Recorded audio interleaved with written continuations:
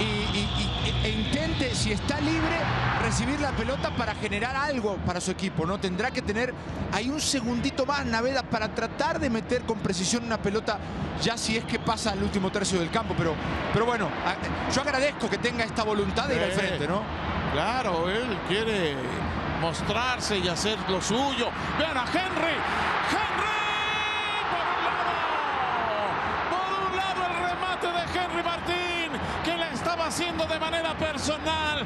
Encaró a Balanta, se lo quitó, pero el zurdazo se fue por un lado. Jugada, Henry. Se antojaba tal vez para cruzar la pelota, pero lo hace muy bien. De último momento se quita Balanta con un toquecito, nada más adelanta un poco la pelota para que no tenga oportunidad del central.